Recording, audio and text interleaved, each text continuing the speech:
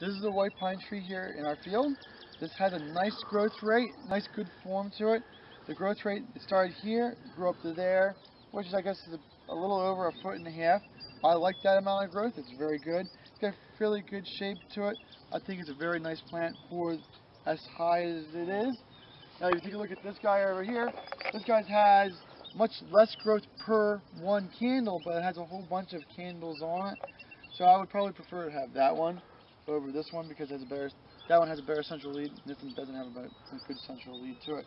But the amount of growth per pine tree will differ from one pine to the next pine. And I would say a good average would be like a foot and a half to two feet of growth per year for a pine tree.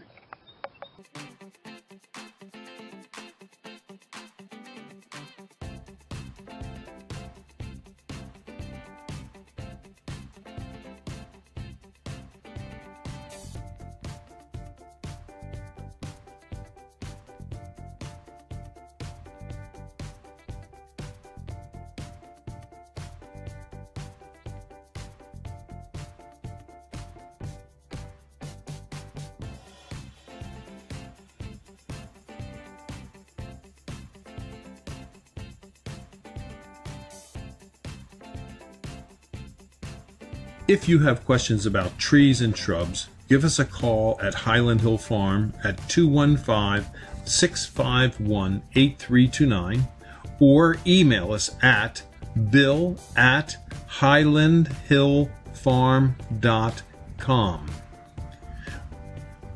If you like this video, I hope you subscribe and please go to the subscribe button and subscribe to our videos. Thank you. Have a nice one. Bye bye.